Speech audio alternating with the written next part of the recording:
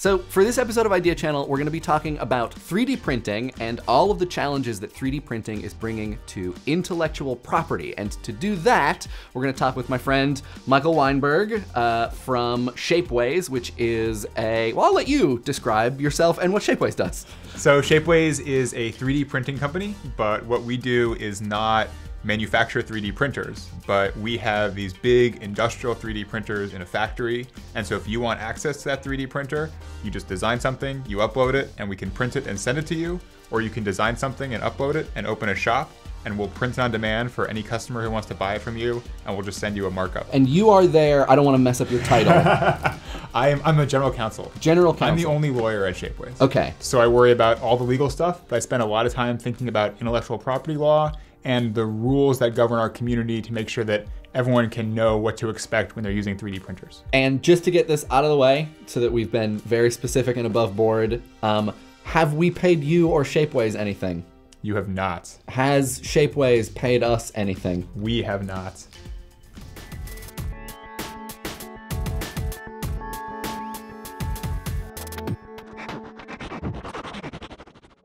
I think before we get really into the weeds, talking about how 3D printing is sort of breaking copyright uh, and intellectual property, maybe we should just cover the groundwork of what exactly it is 3D printing is and does. So 3D printing is a technology that lets you take a digital file and turn it into a physical thing, and it cuts the object up into super thin layers. And then there's a machine, the 3D printer, that builds that object up one layer at a time. And it can use all sorts of technologies to do that and all sorts of materials. But the core idea is instead of having a block of something and cutting away until you have the object you want, which is traditional manufacturing, with 3D printing, you just build it up from nothing. And so you just have layer and layer and layer and layer until you have that one object. Is every 3D printer an extruder? You're always ex- you're extruding something. Not every 3D okay. printer. And so most of the 3D printers that we have at the factory are not those types of 3D printers. Okay. So those printers are the ones that you know if you've seen them on desktops and things like that. The way that ours usually work are sometimes there is a, a bed of powder, and then it kind of does powder and then a little bit of glue that is specifically designed to be in a place. There are also machines that use a laser or some sort of light source. Immediately, know, immediately right? on board. Laser 3D printer. what? That basically they either use it to melt if you have a bed of metal filings and you shoot the laser at the metal filings to sinter them to turn them into a solid piece. But all of them at their core they're thinking about building a layer, moving up a little bit, and building a slightly differently shaped layer until you form an object that has all sorts of physical properties. I think this brings us now to the last thing that I want to touch on really briefly before we get into the intellectual property weeds, which is 3D printing community. It is an incredible community of people that are, it's growing and becoming more and more diverse every day. But you've got one group of people who are attracted to 3D printing from a kind of engineering, tinkering, hacking standpoint, where they just, they think it's a really neat engineering challenge. They're really interested in the machines and how to make the machines work and how to design functional things that they need every day. Right. And so they're kind of the, the engineering oriented people are coming in, and that's a huge vein of people in that community.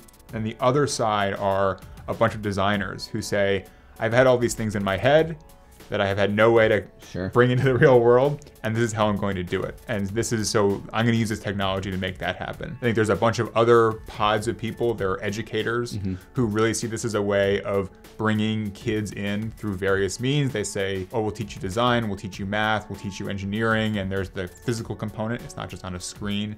And then there's a little universe of lawyers who are who are attracted to it for right. interesting reasons of just sort of legal policy issues.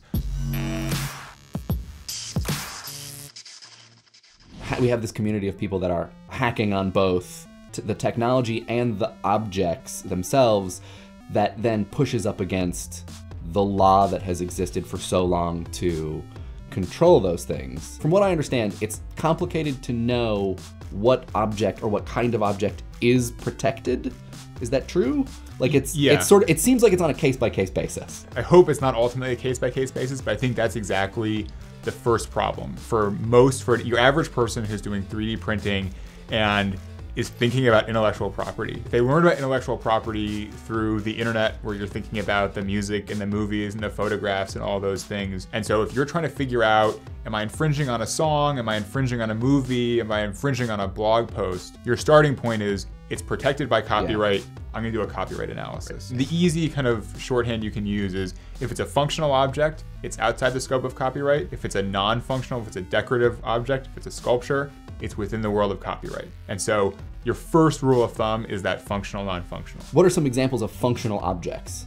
So a hinge. Okay. Or a, a handle for a door or a you know a piece to hold a shower curtain in place. Okay. Things that basically, if you're an engineer designing something, you're probably designing a functional, functional part. Okay. If it has functional pieces that you know the tolerances matter, it's going to perform something you want to perform, that's you're in functional land, you're probably largely outside of the scope of copyright. With 3D printing, there are lots of objects that are protected by copyright because they're non-functional creative works. But there are also a lot of objects that are functional works that are categorically excluded from copyright protection because they're functional works. And so they may be protected by patent, they may be protected by trademark, but instead of the first question you have to ask yourself is, is this infringement on copyright? the first question you have to ask yourself backs up a step and says, what, if anything, protects this uh, this work? Right. Is it protected by copyright? Is it protected by trademark? Is it protected by patent? Because the answer to that question governs the whole rest of the show. And that sh- and that question is not as easy to answer as you might want it to be. And that's I think one of the big challenges for people is it's requiring them to know even more law than you already have to know when you're thinking about copyright stuff, which is already a lot of law. A lot of law. And so, what is the likelihood that someone is going to print something that infringes on a patent of a functional object? So that's where it gets complicated again. I apologize. So, so with, with copyright, with things in the copyright world, copyright protection is automatic. Yeah. If you are categorically eligible for copyright protection, your thing is protected by copyright. If you're in the functional world and you are categorically eligible for patent, that doesn't mean you have a patent you still need to go and get it. Yeah. And so the question isn't even what is the likelihood that someone's going to print something that's functional because it could infringe on a patent. The question is if they're going to print a functional thing that is also protected by patent. And that's a smaller universe than copyrightable thing that's protected by copyright because that universe is sort of a one-to-one mapping. Right. You know if it's a creative thing, you know it's covered. Right, right. And so I think the likelihood that you're going to infringe on a patent is much smaller because the number of things in the world that are protected by patent is much smaller than the number of things in the world that are protected by copyright.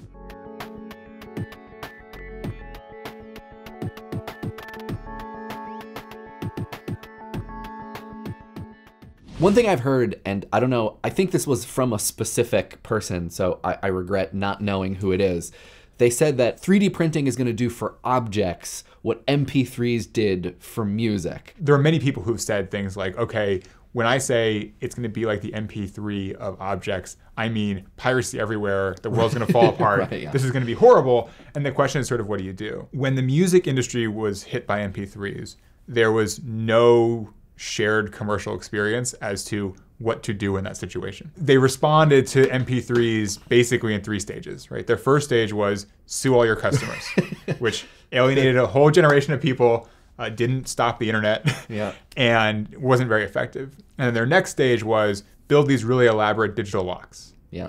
And all of which got broken. All of which got broken, none of which really achieved any useful purpose but it cost them a lot of money and alienated a bunch of people who were left. Yep. so they went through two stages where it was very expensive and very costly in terms of customer relations, but not very productive for them. And then they finally kind of moved into this third stage where they said to themselves, okay, there's clearly a demand for this stuff, for digital music. So let's spend some time and money finding a way to bring that market to people. The lesson kind of over and over is you approach it as, okay, how do we meet this market?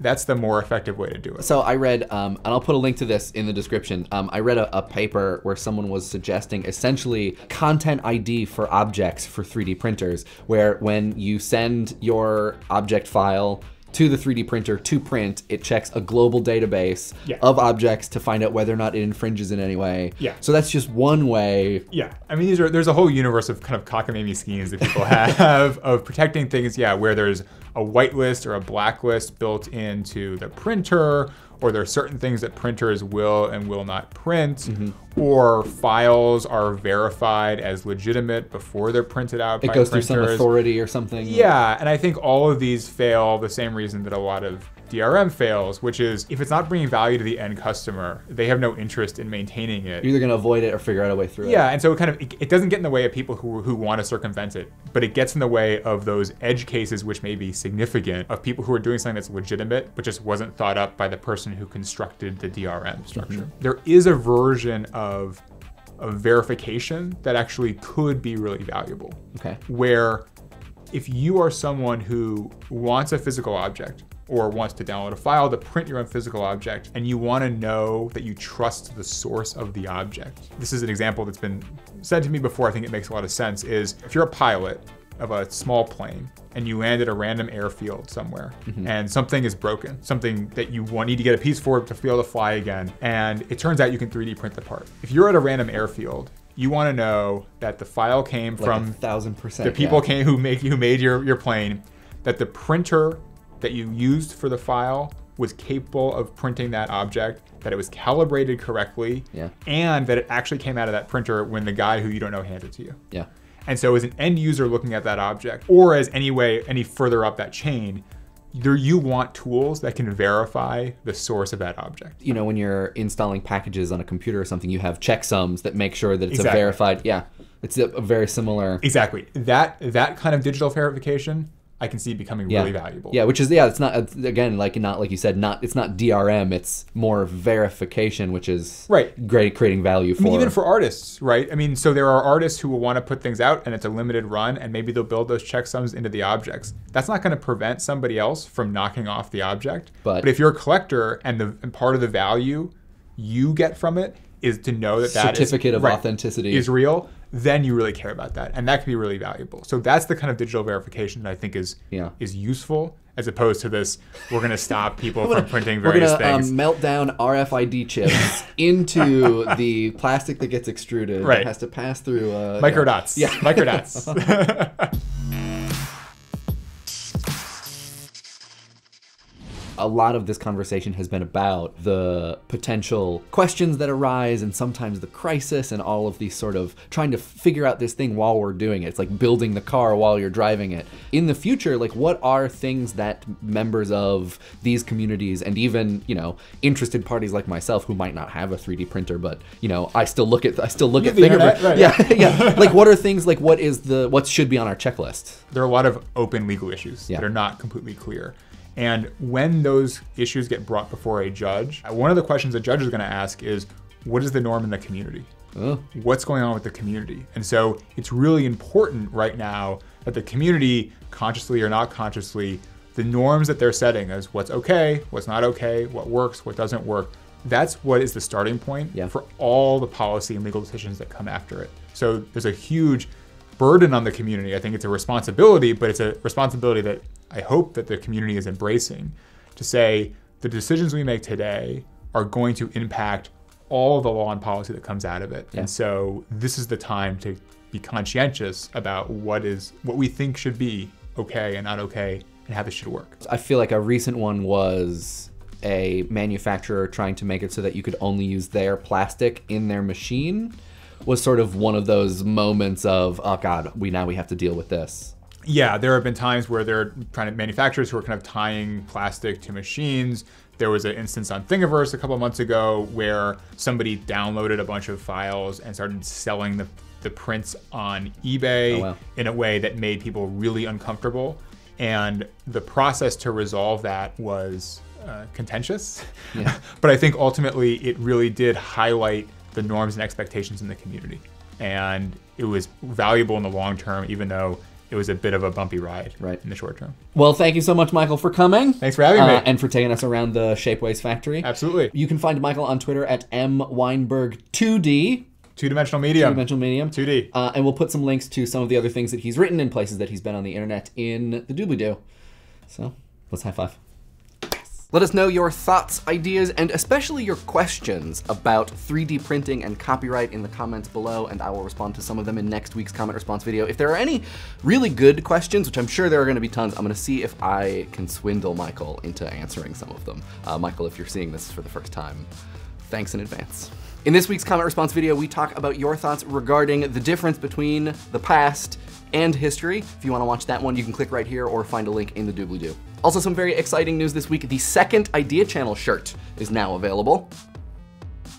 The illustration was done by our good friend Andrea, who did the illustration for the light bulb t-shirt, and uh, it is available today on dftba.com. So we'll put a card and a link in the description if you want to buy a t-shirt. In case you missed it, I was in an episode of the Mental Floss List show talking about New York City, the city that I live in. If you want to watch that, we'll also put links around this week's tweets of the week come from Terrible at SFE, who points us towards the Ukraine's entry for Eurovision this year, which is rightfully so and very interestingly um, political, and TJ Von P, who points us towards a piece on um, brutalism, like from architecture, in web design. I don't think I agree with 100% of the statements made in the piece, but it is, I think, a, uh, an interesting way to look at design and architecture and the internets. We have a Facebook, an IRC, and a subreddit links in the doobly-doo, and of course, this week's episode would not have been possible or good without the hard work of these very functional objects.